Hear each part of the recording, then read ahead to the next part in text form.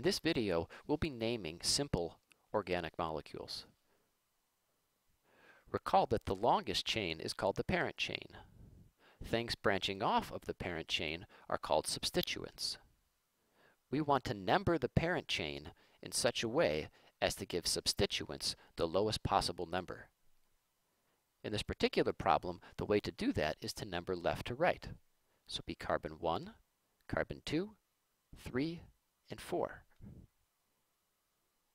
Now a parent chain which has four carbons is called butane. But you'll notice that this substituent chlorine is located on the second carbon. So the name of this molecule would be 2-chlorobutane. Now the first thing we'll want to do here will be to number the parent chain to give the substituents the lowest possible number. Notice we have two substituents, bromine here and bromine there. The way we can give the bromines the lowest possible number is by numbering right to left. One, two, three, four. This is butane. And we have two bromines. We have one bromine located on the first carbon, and we have another bromine located on the third carbon. So we have two bromines. That's dibromo. So the name of this compound would be 1,3-dibromobutane.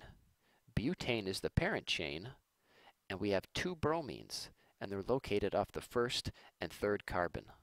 This third molecule has been drawn in such a way to intentionally mislead you. You'll notice that we clearly show there's a bond between these two carbons. But what we don't show clearly is there's bonds between all of the carbons. So what we know from before is that the bonds between all of these carbons are actually 109.5. And when we say it's a straight chain, it's not really straight. All the bond angles have a tetrahedral type shape. So in fact, we really only have one substituent. It's this methyl group here, because this carbon is part of the parent chain. It's one continuous chain, carbon 1, 2, 3, 4, 5, 6. So the parent chain here would be called hexane. And we have a methyl group located on the third carbon. So that makes it 3-methylhexane. This next molecule has also been drawn in a specific way to try to illustrate a point. So some of the carbon-carbon bonds are shown, others are not. Recall that this is just on, on paper. It's two dimensions. But when we build these, they have a three-dimensional shape. And you know that all of these carbon-to-carbon -carbon bonds have a tetrahedral type arrangement. So we have to look for the longest continuous chain. We can do that a couple of ways. However you do it, the name still should come out to be the same. I'm going to choose to number it like this. 1, 2, 3, 4. This gives these two substituents, which are both methyl groups, the lowest possible number. They'll be bonded to the second carbon. So two methyls bonded to the second carbon will be 2,2 dimethylbutane. 2,2 because both methyl groups are bonded to the second carbon. And butane because the parent chain has four carbons. Now in this next problem, you'll notice that there's a double bond and there's a substituent. But you'll recall that a double bond takes priority over the substituent. The substituent can either be this methyl group here or this methyl group there. Either way is fine. Remember that these are all part of the long chain. You could also include this as part of the long chain. So here's the double bond.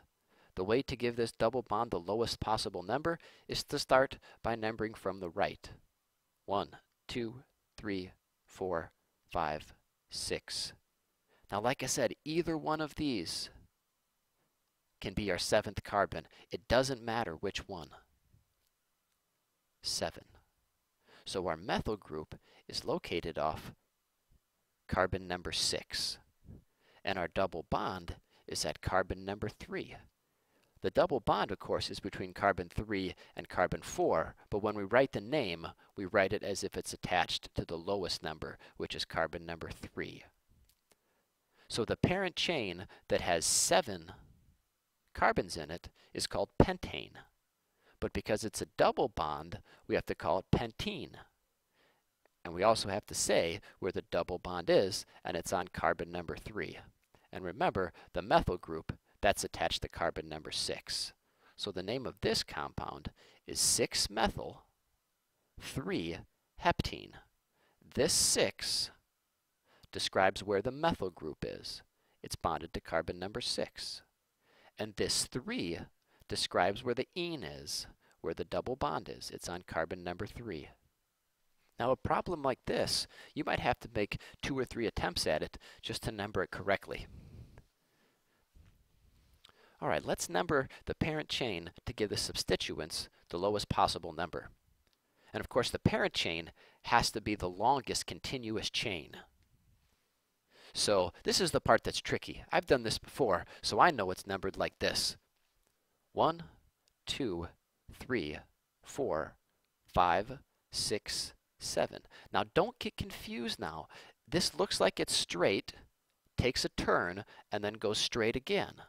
But you know, because you've done models with the ball and stick models, and you know that it's not actually straight, even though it's called a straight chain. You know that there's actually bends and twists all along the way. In fact, there's angles between every carbon. It's 109.5. So this may take some practice, but try a few different ways until you get it right. So we're dealing with heptane. Heptane is the hydrocarbon that has seven carbons. You'll notice that off of the second carbon, we have a methyl group. And off of the fourth carbon, we have an ethyl group. Two carbons is ethyl. So the name of this compound should be 4-ethyl 2-methyl heptane. Heptane because there's seven carbons in the parent chain, four ethyl because there's an ethyl group attached to the fourth carbon, and two methyl because there's a methyl group attached to the second carbon. Notice that we list the two substituents in alphabetical order. First ethyl, then methyl.